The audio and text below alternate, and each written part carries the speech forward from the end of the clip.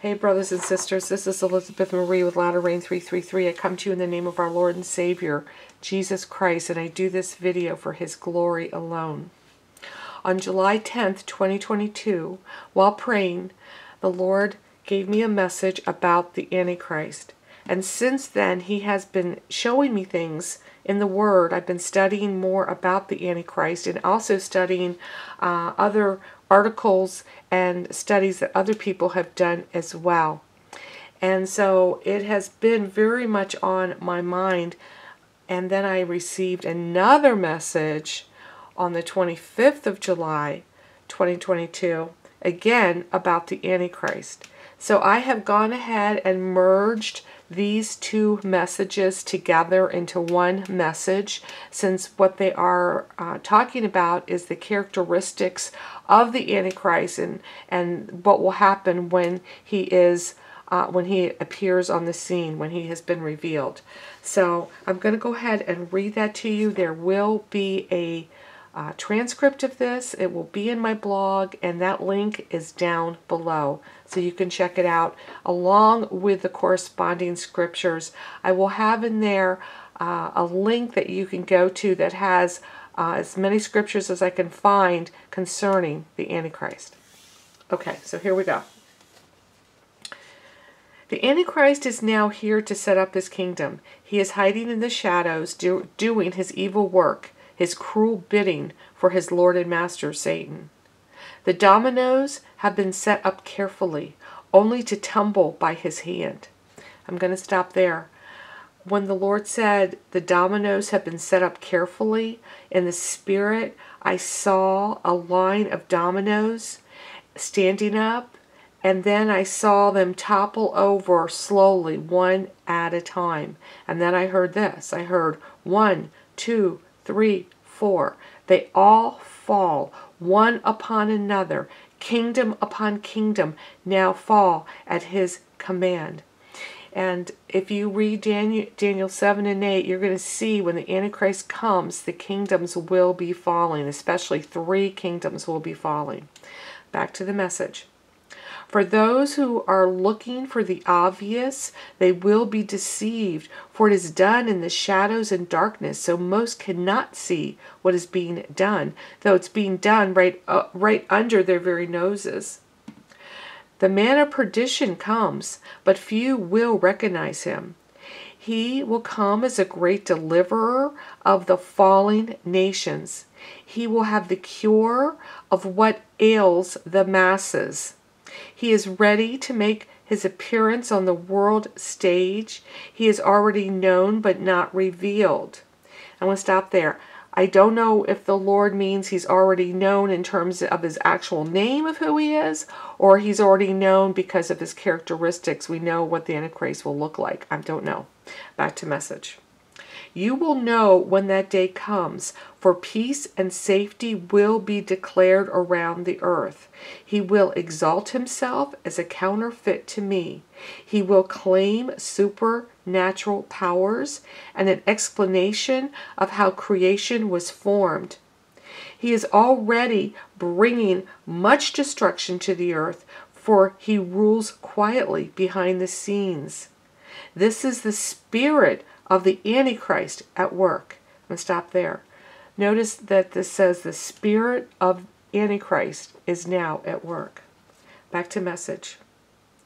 Worldly wisdom will deceive many, but those who are walking close to me will not be deceived, but will see all clearly. The stage is being set. All is about to come forth as it is laid out in scriptures. Fulfillment of all prophecy will unfold.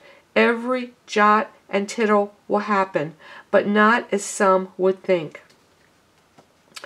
All will rejoice at his coming. And we're talking about the Antichrist's coming. All will rejoice at his coming, for they long for the good old days again. Peace and safety will come, but then certain disasters. The, the trap has been laid and the victims have been caught in its web of lies. The deception will be so great that only those who are walking closely to me won't be deceived. The clock ticks away the minutes and seconds till I come and fight this great deceiver with the word of my mouth. I will overtake and conquer him. He will be no more and thrown into the lake of fire with his followers. All those who are left, for they will have overcome the enemy, and they will now rest in peace from their labors. And that was the end about the Antichrist. Now the Lord gives us encouragement here. I am calling and tugging on men's hearts to come back to me. If they humble themselves and repent, I will hear. I will then direct them down the narrow path that leads to eternal life through me. Come to the living waters. Come to the fountain of life. Let me refresh you and cleanse you. Let me restore and revive you. Let me heal your wounds both physically and emotionally, for I am the great healer. Let the streams of living water flow. Your Savior, Jesus. That's how it's signed. Your Savior, Jesus. And then I waited a little bit and then asked the Lord, was there anything else? And then I heard this. I heard, I will direct you, I will guide you, I will lead you where you are to go and what you are to do. Submit your life to me and let me work through you. Your life counts for me, for you are precious in my sight. I long for all to come. I love you with an everlasting love and have and have your and have given excuse me let me say it again I love you with an everlasting love and have given my life for yours. Now be faithful to me, and I will to you. And that was the end of both of those messages, brothers and sisters. So I'm going to read to you Matthew 8 5 18 that talks about every jot or tittle. It says, For assuredly I say to you, till heaven and earth pass away, not one jot or one tittle will by no means pass from the law until it is fulfilled.